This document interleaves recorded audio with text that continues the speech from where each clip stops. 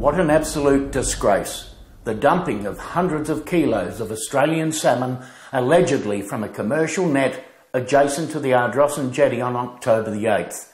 Here you can see the fish, mostly floating belly up, just below the surface of the water. They were more than a metre deep in places and stretched over a hundred metres from adjacent to the jetty. A white van and a netter were seen at the Ardrossan facility shortly before this footage was shot. The video has gone viral on social media, with most responsible fishers deploring the action. Some comments from certain members of the commercial fishing fraternity have not helped their cause. It is a most blatant waste of a magnificent resource. Dead fish for South Australians. Estimates have suggested that more than 8,000 kilograms in total of salmon were taken off Ardrossan during that weekend. It is known that most of the fish at the bottom of the net died through the sheer weight put upon them during retrieval. So much for the commercials and PIRSA claiming that recreational should only be allowed a fair day's catch. This is what happens when there is no total allowable commercial catch quota on our finfish species. The pros, as we have long said, can go out and kill the pig on our finfish species. Australian salmon are not a high value fish for the commercial sector. They normally smash schools with their nets and sell the catch basically for cat food. If they can catch enough, it turns into a nice little earner for them. But what happens when they catch too much to fill their vans alongside the dock? Just look at the footage again for your answer. It's disgusting that in this day and age, such an incident could continue to happen. I immediately notified PIRSA and Fisheries Minister Leon Bignell seeking an immediate investigation into the dumping.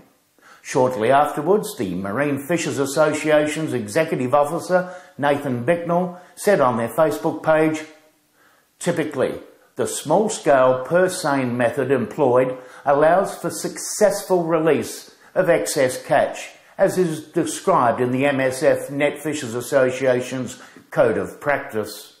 The individual operator's decision to operate outside industry norms was a contributing factor.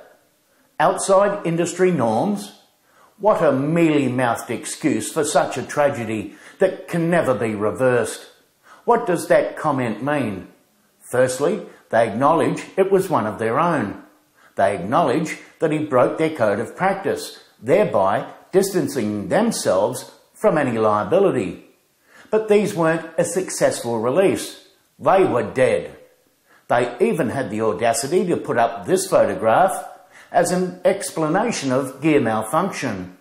You can clearly see the hand in the top left of the frame and then the small hole, the size of a saucer plate, cleanly cut. Don't suggest it was a knife. How could 400 kilograms of dead salmon escape through this small hole? You'd have to believe in unicorns. Don't sell this tripe to the public, thinking we are gullible. Some of us can think for ourselves. As for operating out of industry norms, so what is that? They claim, along with PIRSA, that he caught the fish 300 metres offshore. They know it is illegal to net within 100 metres of jetties and other structures. But then they claim the net got hung up on the BHP jetty. How did that happen? If he was 300 metres offshore. Fanciful to say the least. Arrogant to suggest this has a reason. I do feel a slap on the wrist is coming.